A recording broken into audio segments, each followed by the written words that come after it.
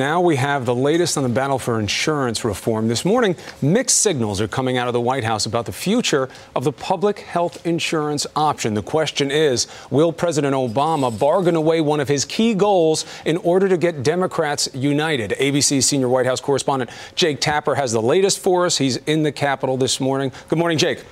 Good morning, Chris. Well, that's right. President Obama speaks to the veterans of foreign wars today in Phoenix, but his allies in Washington are trying to ascertain just how much the Obama administration has raised the white flag of surrender on certain key controversial provisions in this health care reform bill in order to get it through Congress.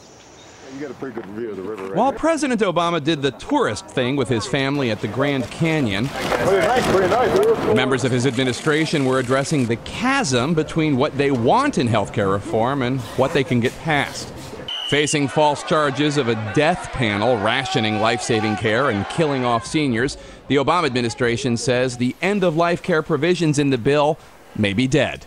Critics say they're uneasy about end of life care measures being discussed within the context of cost cutting. Can you understand that discomfort? We wanted to make sure uh, doctors were uh, reimbursed for that very important consultation if family members chose to make it, and instead it's been turned into this scare tactic uh, and probably will be off the table.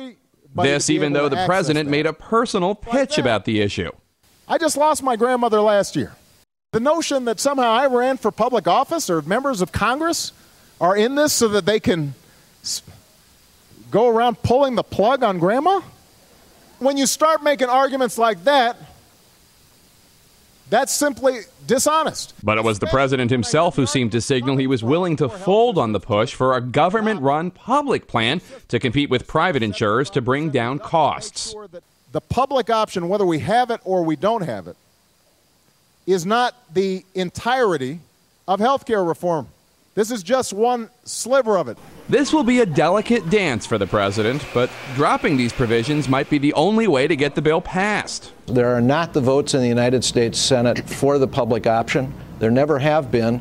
Though House liberals argue killing off the public option will hurt attempts to cover the millions of uninsured. It would be very, very difficult uh, because without the public option, we'll have the same number of people uninsured. Now, Chris, one option that's gaining steam in Washington is that of co ops. These would be nonprofit, but they would not be run by the government. They would be run by members, but some people say they are not nearly as effective as public plans. Chris? And a lot of debate left, left to be had. Jake, thank you very much this morning. Appreciate it.